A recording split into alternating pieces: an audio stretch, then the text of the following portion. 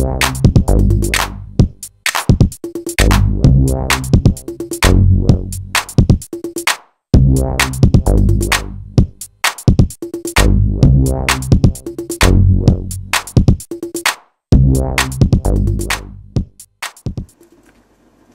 everyone, this is Harry from Aires Communication. In this video, I'm gonna show you how you can make a backup of Nokia N9 by Nokia PC Suite. For this, you need to download Nokia PC Suite. At the video description, I will leave the link so you can go and download Nokia PC Suite. And after downloading, you will have something as this at your desktop and some USB driver.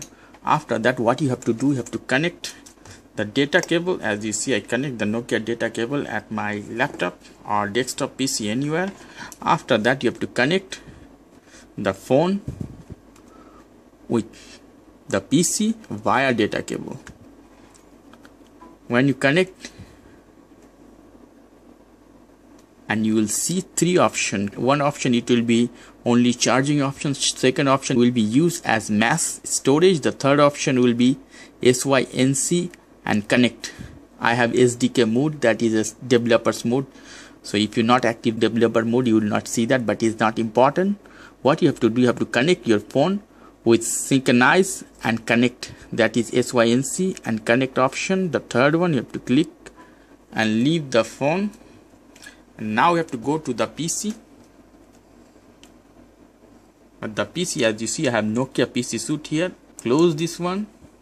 Open Nokia PC suite and here should be some software downloading some drivers for Nokia maybe five or six type of driver they will download if you connect the phone for first time. So you have to wait for five minutes. After that click Nokia PC suite and as you see here I have Nokia N9 is connected to my PC here is the first option is backup. The second option synchronize. The third option is connect to the internet backup the contacts mails everything. You can upgrade your phone too so what I have to do I have to backup for backup you have to click this. And here is some option they give me. Select the phone you want to use from the drop down list. The select one the option below already selected. This is Nokia N9 I have only one phone is selected. Backup desired phone to the backup file which is saved on the PC all the backup will be saved in the PC here is another option. Restore the desired phone content from a backup file to your phone. So all the content is backup at your PC you can also restore to the phone. That means if you do a format to your phone you can still recover all your data and documents contacts messages. So I'll click this one because I want to make a backup.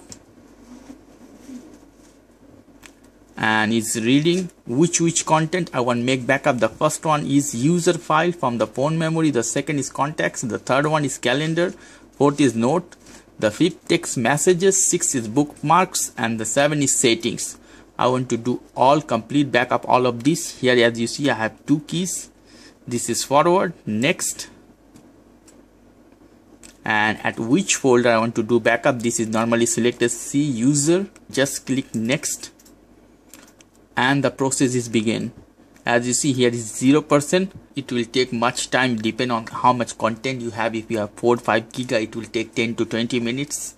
If you have nothing 1 giga or something it could take 5 minutes. So be patient and relax. Don't be panic. If you like this video please do subscribe. If you have any question leave me as a comment. I will try to answer you as much fast as possible.